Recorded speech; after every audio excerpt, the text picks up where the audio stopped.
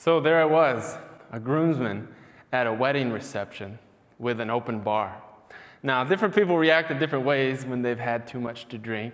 And the groomsman I was sitting by at the head table was the introspective type. He told me his life story, including abandonment and abuse, and how he became an atheist. And then he asked me, How can anyone believe that God exists? I said, I hate to hear what you've been through, and I don't blame you for having doubts. I don't have an answer for you right now, but I do have a question and an invitation. My question is hypothetically, if all your questions had answers that provided more reasons to believe in God than not, what would you do? And he said, Whoa, I was not expecting that. I'll think about it. What's your invitation? I said, My invitation is twofold.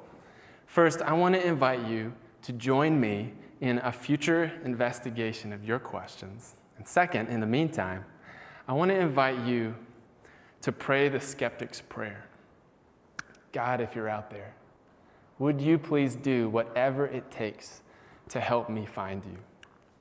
To which he replied, Wow, I was not expecting that either. I'll think about it. I learned something big that day, and that is to never give a 10 cent answer to a million dollar question, especially at a wedding reception with an open bar and when it's time for the bride to toss the garter belt. It was conversations like that that created in me a passion for befriending and learning from people with different beliefs and backgrounds than my own. So, over the course of two years, I set out to conduct 50 interviews, treating each individual for coffee, asking them 20 questions, and even drawing their portrait using one continuous line. And what started as a series of curious interviews soon turned into a series of unexpected adventures and unexpected discoveries. I did not expect the chance to introduce my atheist friend from China and my Muslim friend from Saudi Arabia to what we call s'mores around a campfire, or having them in my home for Thanksgiving dinner. I didn't expect the chance to get to serve pancakes to college students at midnight during finals alongside a Jewish rabbi and a Muslim professor.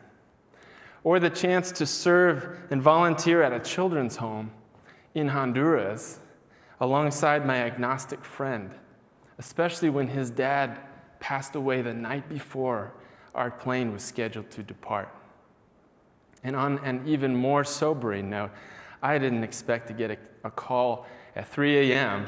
from one of the students that I interviewed who was now contemplating suicide. I don't know why she called me first, but with the help of some police officers, we were able to track her location using her phone and save her life and get her the help that she needed.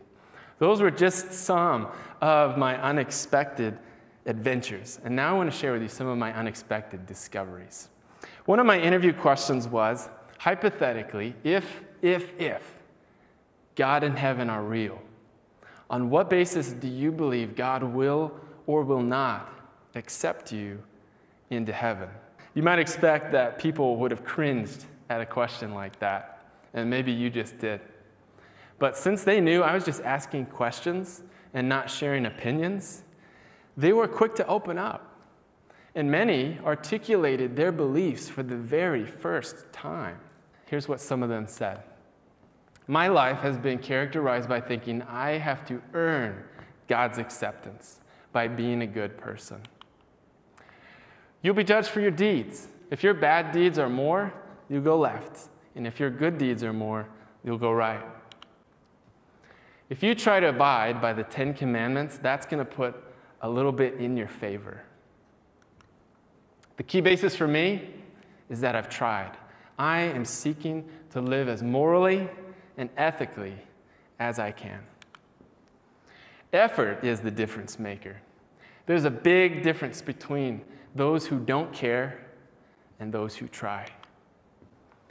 I like to think it would be based on your actions rather than your beliefs. God will probably not accept me into heaven because I've done bad things. And I don't know where the line would be drawn. Despite such diversity in the people that I interviewed, I discovered an overwhelming consensus about the afterlife. In fact, even many atheists believe that if God does exist, then acceptance in heaven depends on performance on earth. I always got a kick out of the times people would say to me, that was one of the best conversations I've ever had because I didn't actually contribute to the conversation. I thought, man, I might be onto something here with these one sided conversations. So I, I, went home, I, I, tried that on my wife, but uh, it did not have the same outcome. Another thing that I didn't expect was that over 50% of the people that I interviewed wanted to meet up again. And it wasn't just for the free latte. Many of them actually wanted to interview me. Two of the most common questions that I heard were one, do you believe all paths lead to God? And two, with reference to Jesus, how can one person's death enable another person's forgiveness. So I want to share with you two illustrations that I shared with them and how they led to one of my greatest, most unexpected discoveries of all. So the first illustration I call the mountain theory. Now I've adapted this from a book by Dan Kimball, which is called They Like Jesus But Not the Church. The mountain theory claims that all paths lead to God. Now, when you look at the major world faiths at the base level, you do see two significant similarities. Number one, they all pretty much agree that living a moral life leads to peace. And number two, living an immoral life leads to chaos. However, while most religions have these two similarities, they also have two significant differences. The first difference is that religions lead to different mountaintops. Buddhism leads to no God. New Age path leads to everything is God. The Hindu path leads to many gods. The Jewish path leads to one God through the Torah, the Muslim path leads to one God through Muhammad, and the Christian path leads to one God through Jesus. Now, the second difference is that religions claim different ways of restoring peace from chaos. All the major world religions, with the exception of Christianity, believe that eternal peace is obtained on the basis of our merits. Christianity believes that eternal peace is obtained on the basis of Jesus' merits. Now, in response to that second question, how can one person's death enable another person's forgiveness? I share what I call the cockroach illustration. Now, most people don't want cockroaches in their home, but however you decide to get rid of them, there's no penalty in a court of law for doing so. There's no debt to pay. However, if you were to kill or violate a person, the penalty would be vastly greater. In a court of law, a person is more valuable than a cockroach. So if the penalty increases according to the value of the one offended, then what would be the penalty for offending an infinite God? It would be an infinite penalty, a debt so great that none of us could ever pay that. Now, this illustration is not meant to say that God views us as little bugs. To the contrary, Christianity claims that it's because God values us so much that he sent his son to rescue us. But if it's true, if it's true that we can't pay that debt and make ourselves compatible with God, then we would need someone who had no debt of his own, who was already compatible with God and equal to the value of God to pay that debt for us. And that is exactly what Christianity claims Jesus accomplished through his death and resurrection. Now, I didn't expect that a couple illustrations would cause so many people to say, I just understood Jesus for the first time, especially because so many of the people who said that were or had been Christian. At this point, I was very interested to know whether or not my limited observations could be confirmed by a nationwide study. And that's when I found the Barna Group in 2019 asked U.S. Christians what they thought of this statement. If a person is generally good or does enough good things for others during their life, they will earn a place in heaven. Now I was surprised to learn that 21% of Christians agree with that statement somewhat, and another 23% agree strongly. This was so perplexing to me because when I asked people in my interviews, what comes to mind when you think about Jesus?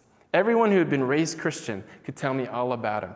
Born of a virgin, performer of miracles, fulfiller of prophecies. They knew all about Christmas and Easter. But when I asked those same people, on what basis do you believe God will accept you into heaven?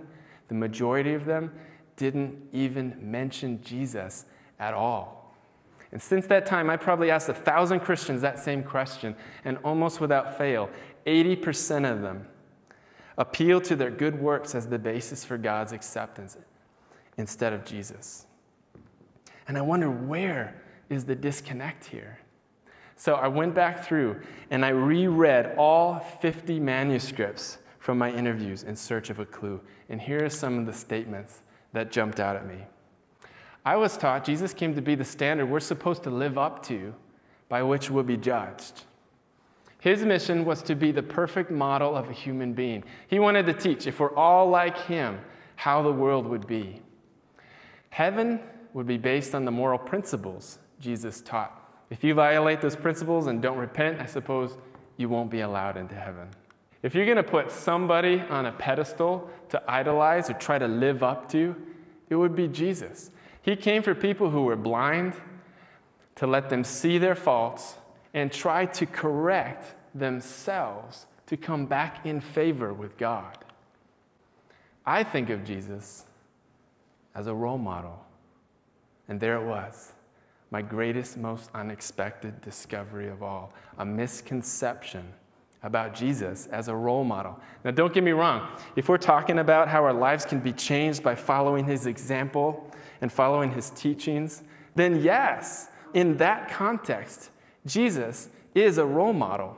But if we're talking about how we can obtain forgiveness from God and eternal life, then in that context, no, Jesus is not a role model. Christianity claims that Jesus came not to show the way to heaven based on our merits, but to be the way to heaven based on his merits. Christianity claims that Jesus is not just the model, but the Messiah. So the person who does rely on him instead of themselves is meant to become a good person. But it's not to be forgiven, it's because they're forgiven. It's not motivated by guilt and fear, but by love and gratitude. So I share these discoveries today, not to offer a case for Christianity, but to offer a case study for the unexpected adventures and unexpected discoveries that can be experienced when we open ourselves up to understand others and understand ourselves and maybe discover some truth. So, whether you're at a wedding reception or a coffee shop, it's okay to say, I don't have an answer for you right now, but I do have a question and an invitation. To which your friend just might say, Wow, I was not expecting that. I'll think about it. Thank you.